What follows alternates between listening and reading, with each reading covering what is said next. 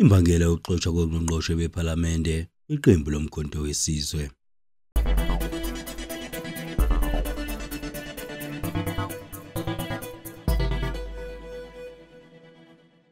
Abeyishumi kwabangu-18 ongqongqoshe beqembu lomkhonto wesizwe abasanda kuxoshwa kuleli qembu kuzomele balinde kuze kube inyanga ezayo ukuze babe nosuku labo enkantolo. Labo bavele kafushane enkantolo enkulu yase-Western Cape ngolwesithathu lapho bekulindele ukuthi baphikise ukuxoshwa kwabo bafuna kumiswe nokufungiswa kwamalunga amasha ephalamende. Inkantolo lihlehlisile lolu daba ukuze ivumele izinhlangothi ukuthi zifake izincwadi ezifungelwe ezinesiphendulo esifanele. Amalungu ephalamende axoshiwe kuthiwa wathintwa ngokuxoshwa kwawo futhi nemigudu efanele ukuwasusa ayizange ilandelwe. Ekhuluma nabezindaba ummeli waleli qembu uWendy Siles uthe laba abayishumi bafuna kuhoxiswe ukususwa kwabo eqenjini. Uthe bazolinda kuze kube ukuvela kwenkantolo elandelayo lapho kulindeleke ukuthi inkantolo ikhiphe isinqumo sayo ngokusekelwe emaphepheni anikeziwe.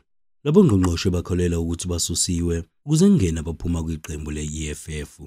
Ngesinto ledlule uFloyd shivambo ngomunye wabasunguli beqembu le-EFF umemezele ukuthi uyalishiya iqembu wasejoyina umkhonto wesizwe.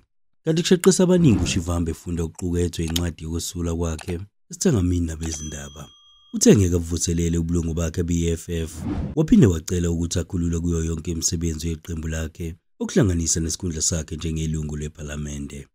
UMzwanele Manyi naye useyishiyile i-EFF wajoyina i-MK Party.